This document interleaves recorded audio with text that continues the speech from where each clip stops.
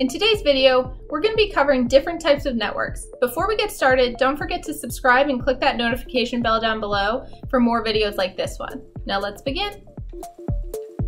We use technology so much in our day-to-day -day lives that we often take for granted what's really happening within the network. We're going to build a network today, and we're going to start with a local area network and build out from there. Now let's discuss a LAN and a WLAN.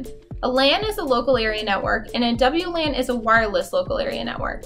Now to explain how a WLAN is different from a LAN, let's think about what we have for a network in our own homes. For example, in my house, my family and I have a few devices that are hardwired into a switch. These include a few desktop computers, an access point, a PlayStation console, just to name a few. This is an example of a local area network, or a LAN. Because these devices are connected by Ethernet cables, they're considered members of a LAN. Now let's think about our wirelessly connected devices. In our house, we have a few laptops, a printer, a few smartphones and tablets. These are all part of our WLAN, or our wireless local area network. Because these devices are using wireless communication to create a local area network, they make up my WLAN. In summary, a wireless LAN is a LAN that doesn't require cables to access the internet. Makes sense, right? A CAN, or campus area network, is a network that connects two or more LANs together within a limited area. For example, a university with multiple buildings on a single campus would form a CAN. Each building has its own LAN, and when you connect each of those buildings, it becomes a campus area network. Now what happens when you build out from there? Let's say we have a school district that has multiple buildings throughout a town or a city. Each school has its own LAN and WLAN, but each building is connected to each other with some sort of high-speed connection. In this case, let's assume the school district is using fiber optic cables to connect those buildings to allow them to share data across those different networks. This type of network is called a MAN, or a Metropolitan Area Network. Don't worry, if you aren't familiar with what a fiber optic cable is, we're going to cover that in a separate section.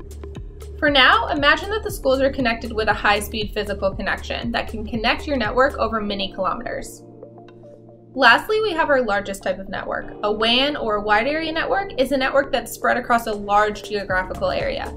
It could be a town, a city, a state, or across multiple countries. A WAN is made up of LANs, CANs, and MANs. A great example of a WAN is the internet. WANs can be either public or private, and both have pros and cons.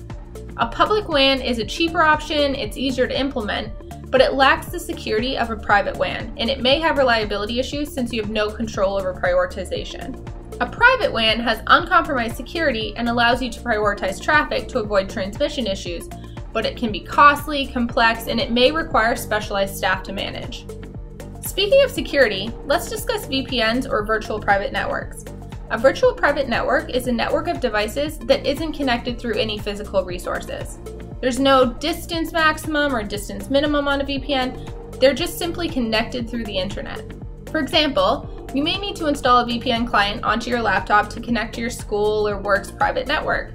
The VPN is going to create a secure connection or an encrypted tunnel across a public internet connection, providing you with an additional layer of security to protect your private data. I'll give you an analogy.